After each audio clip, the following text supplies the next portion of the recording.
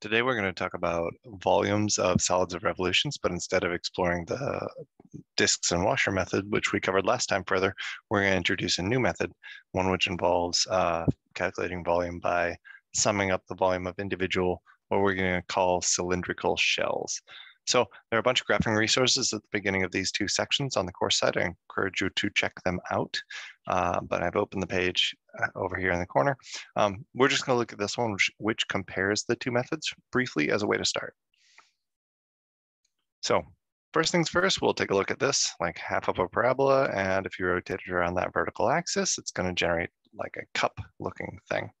And so last time we learned to take that and uh, to generate the volume of a solid of revolution like this and approximate it by summing up these disks, the volume of these disks that are generated through rotation. And in this instance, you would generate or you would integrate from one or zero, one, two, three, four on this blue axis would be your limits of integration. And you'd sum up infinitely many thin slices of volume, which were approximated by area of the individual disks.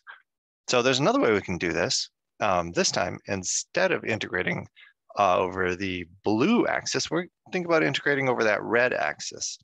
And so let's just look at what would happen. Oops, sorry, I meant to have it set like that.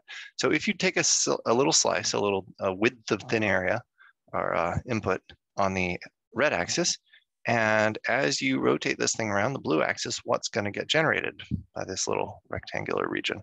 Well, as you rotate it around, it's going to generate this sort of circular vertical cylinder, or what we call a cylindrical shell. And you could generate the same uh, volume of the entire solid of revolution if you integrated along the red axis, starting at zero and going out to whatever point this would be right there. So that's kind of a quick intro of what we're going to cover today and how it uh, is compares to what we covered last time.